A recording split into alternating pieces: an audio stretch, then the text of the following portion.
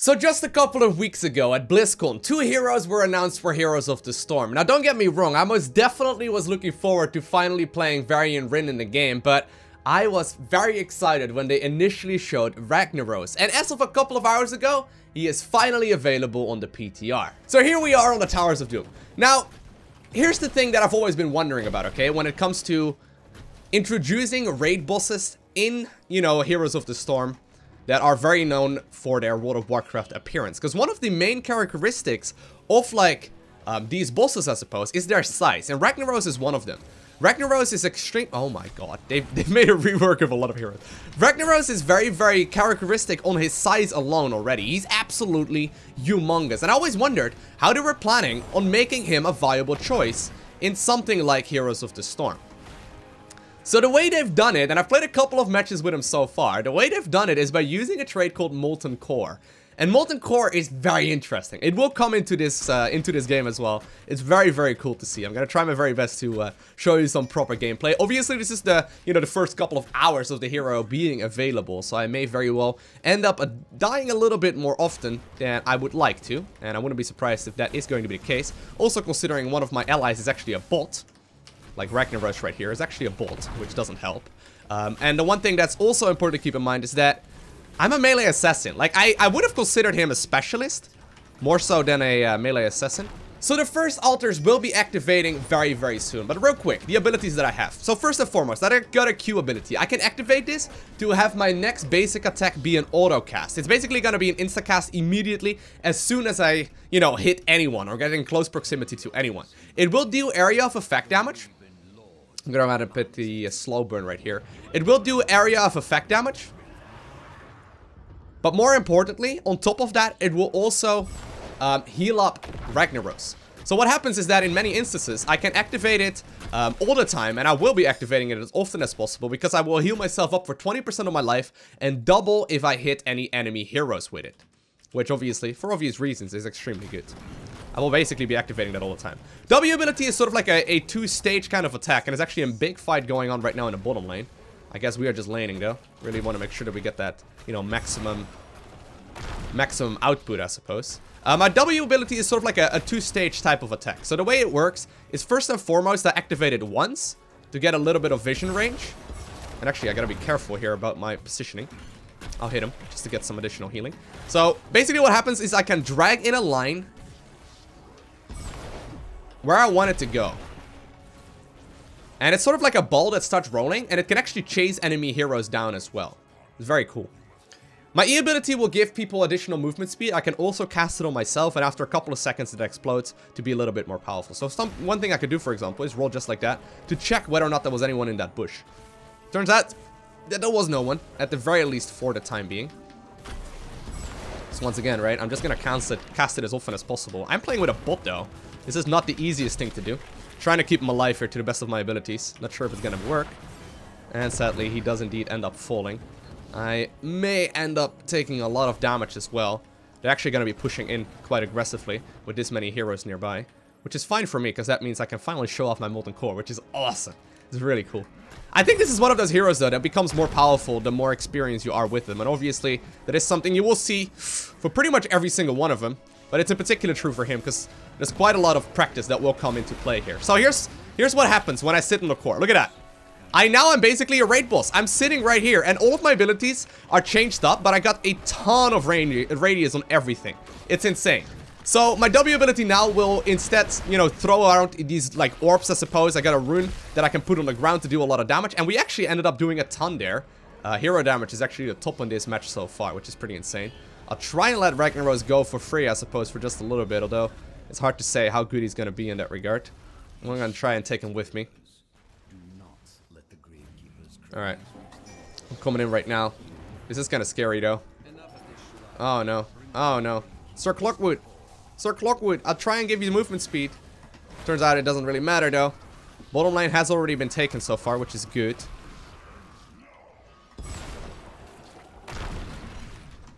But we have to be very careful about our positioning. Now, we do have a Cho'Gall. I'm actually queuing up with Cho'Gall. And they're stuck. they're stuck. No! Okay. Um, I'm gonna go ahead and pick up the Hand of Ragnaros here will give me some more Q abilities, which will hopefully give me a little bit more sustain. But it's so cool though. I love the things you can do right now with Ragnaros, and I'm actually in a really careful... Oh, I'm in a very powerful position. They've made a rework on, on Diablo as well as on Artanis. Artanis, for example, right now can dash forward, then uses E ability, so he can, you know, get a lot more range on that on that skill. Um, and it's honestly very terrifying. It takes a lot more time to start playing against Artanis right now. Uh, basically, um, full-on reworks on those heroes. So sadly, I do end up falling there. Now, the cool thing, though, um, that's... Oh, man. They were just hanging out there. Did you see that? That was strange.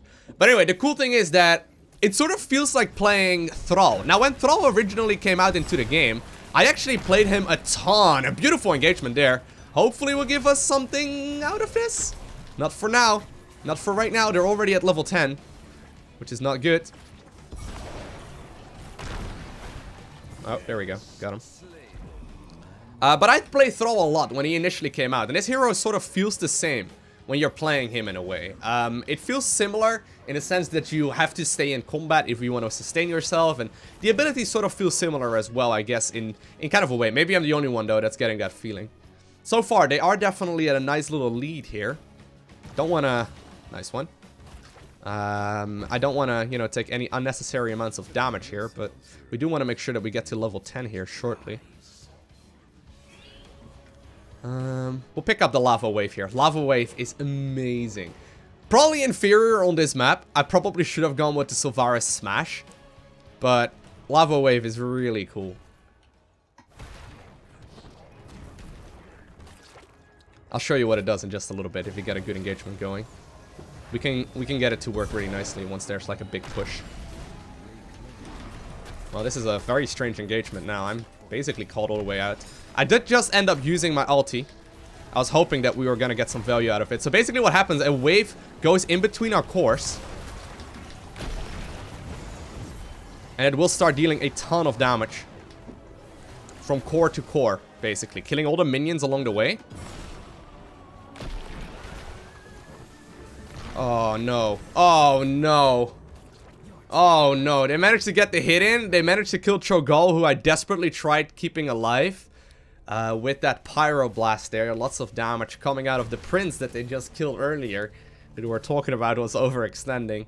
And so far, they didn't really do a whole lot there. But anyway, um, my ultimate ability goes basically from our core to their core. And all of the minions caught along the way will deal, um, well, you know, basically get one shot. And all of the heroes caught in that direction will also take a ton of damage. Now, the funny thing is that it's relatively easy to spot, and it did just actually end up taking the boss, which is unfortunate for us. It's relatively easy to see it coming in, but for some reason, it's very difficult to dodge as well. Like there, for example, you see theirs coming in, right? And our Diablo just walked into it. Now, our Diablo is a bot, so I guess it's realistic enough in that regard, but... The scary thing about it is that if you get caught in it, and you don't see it in time, it's very, very difficult to get anything out of it because it deals so freaking much damage. I've had some games before this one that I sadly didn't record. Sadly, I'm not going to be able to show you, I suppose. Um, oh, come on. Overpower? No overpower. That's a shame. Um, but um, you get some insane damage out of it. In particular, in lanes where there's actually pushing going on in the middle of it. Uh, obviously, the Sulfuras Smash is another ulti that I can choose if I want to. I'll go ahead and use my ulti here once again. So notice on the minimap, a wave will come rolling in. And it will indeed hit their Ragnaros for sure. Look at that damage! That's what I'm talking about! He could have spotted that on the minimap with ease, right? But it's so scary. It's so scary because it deals so much damage. And if, you, if you're not paying attention to the minimap, right, just to see a little flame, you can only see it for like a split second exactly where it's located it's very difficult to get any value out of it. Now, I'll go ahead and pick up Cauterized Wounds. Should be able to... Should be able to take out their, uh, I think, right? Well, now I most definitely can. Good job. Got the bro fist. They did just manage to grab the top one though, which is a little bit disappointing. The range, by the way, on my Molten Core is, is quite significant. I can't use it a lot, but... Okay, get him. Okay. I'm trying to body block him here. Managed to look Managed to do that quite nicely as well. And actually, I'm gonna go ahead and grab myself some healing here if I can. Maybe on this map, Ragnaros is just not that amazing. I mean, the objectives are not in lane, and they're... You know, taking over the Molten Core, I suppose, is pretty rough as well. I can do it, by the way, on Broken Keeps as well. It's like on Broken Keeps just as well as on, like, you know, ones that are already alive. I can also take the enemy ones after they get destroyed, which is pretty cool. Well, he's gonna be able to hopefully stay alive. he tried dashing out of the level to see if it would give him any extra sustain. Not quite. If we could grab that, it would be nice. I don't think there's anyone over here, right? Okay, we can get some extra healing here, I suppose.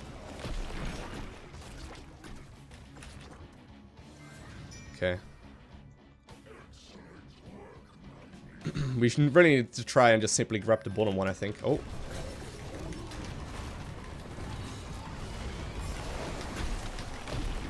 I'm in a really scary position, and I do indeed end up falling. Cho'Gall also caught with his pants down will also end up dying, and basically the entire team is right now dead. Except for Diablo, our beautiful bot that we had since level 1. Pretty painful though, ugh! Obviously this is the PTR, right? So there's very little precautions, I suppose, if you if you leave a game early or you disconnect early or whatever and you don't come back. There's very little you can, you know, you need to do at that point in time just because, I mean, you, you, you know, you may get timed out for a little bit out of games, but it's, it's not going to cost you on your main account. It's not going to carry over to the main server. Well, we lost the uh, we lost the tower. We got another one back. So far, though, damage output looking pretty solid. I think we can go a little higher than that, though. If we can get some good uh, good waves coming in, that would be huge. Okay, using my wave right now in this lane. Oh no, oh no. Don't die, Lowko. There's the damage, though. We can also use this for zoning. They get another kill there because of it. Okay. Um, we'll go with the, giant there to deal some extra damage, but more importantly, get some extra sustain out of that, because I get damage, or I get healed based around the damage that I deal. Alright, trying to give him some extra movement speed here. Okay, good. Oh no. Oh no!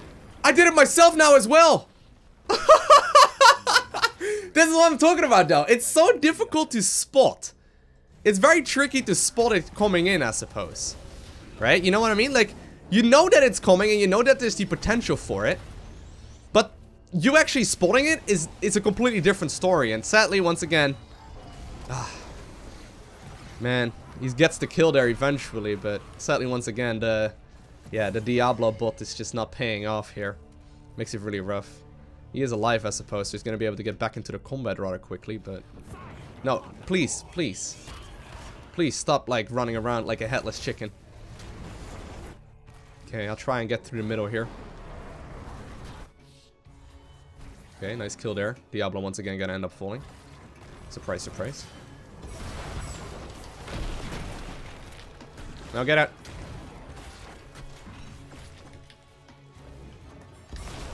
Whew. That extra movement speed though is really cool. Makes for a pretty powerful push. I'm gonna see if I can head to the bottom lane. I need to not forget about my Molten Core though. It's one of those abilities that you I don't know. For some reason, I keep forgetting about that it's even an option. You know what I mean? Like, you play the game a lot.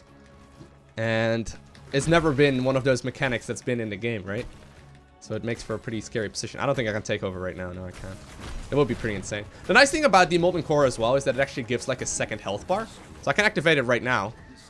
Um, and it will give like an extra health bar if they were to attack. Which is pretty good. I'm actually going to try and see if I can potentially delay the push over here.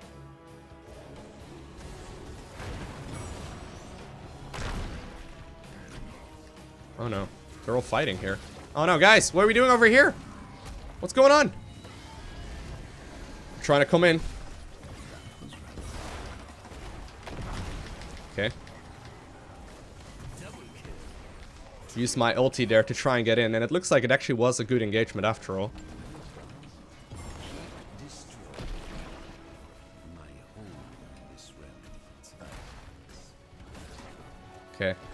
We got the camp, guys. We got the camp. Let's get out. We actually got the bottom one here as well, which is great because it's going to give us a couple of shots.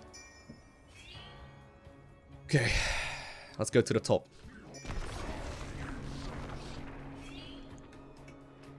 Here we go. So they're actually killing the bottom right now to try and kill this thing, but this is still gonna give a couple of shots off, which is fine for us. We should be able to get both, right? We should be able to get both. Okay, try and get it. You can go off your leash now, Diablo. Go grab the other objective. Very good. And actually, you can see, there we go. There, Ragnaros currently has got the objective.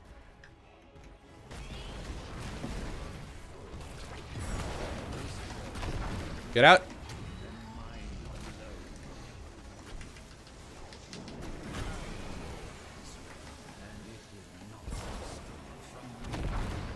Gonna be able to stay alive for just uh, a little bit here.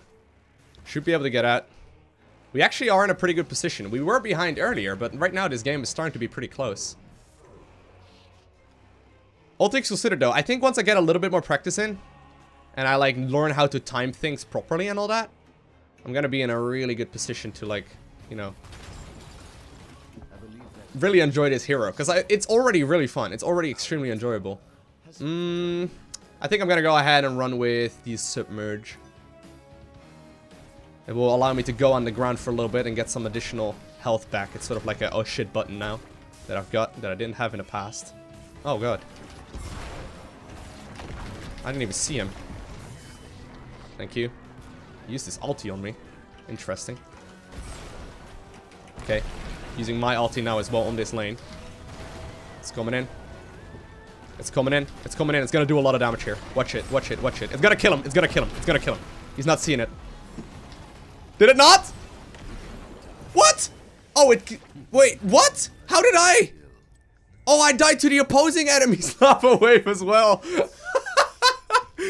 We're both just counting on it doing so much damage. I think I may have very well killed theirs at the same time as he killed me. That would have been pretty insane. So far, though, this game is starting to look pretty awesome. It's gonna be a cool hero to play against, though, because it's a completely new mechanic, right? Not something we've ever seen before. I think we're looking good. I think we're looking good. We're gonna be able to get an additional four shots off. Oh no, oh no, oh no. Do you think I should go? He's so low in HP though. Oh, the Cho ulti. Nice. nice. Whew. That was crazy. I could have easily survived though, all things considered, right? Don't, don't ult. Oh man. You sure about this, mate? Please don't die though. But like the thing is, right? I could have stayed alive there quite easily. Oh no, guys. Why did we do the bulls? This seemed like such a terrible idea. Did I get it? Not yet. Not yet! Well, I'm here now. We got five hits off, though. And with that, we have eventually obtained. Wait, what? I thought we had it, actually. I thought we actually had it there. Oh, no. That's bad. I think one of the hits already came in when I checked out the health pool of the core. That's okay. We just need one more. Just play defensive. We don't need to take any risks. We don't need to take any risks. We just push, pressure, and eventually secure that final one. I hope it's gonna be several activating next.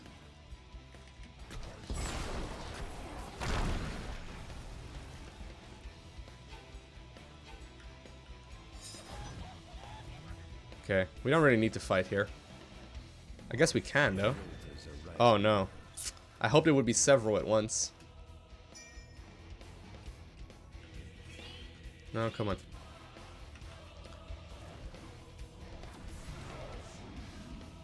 This is scary, though. Because this is going to be the main fight here.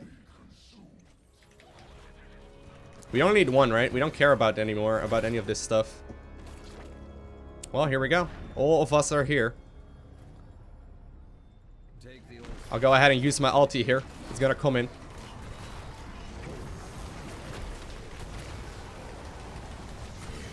There we go. There we go.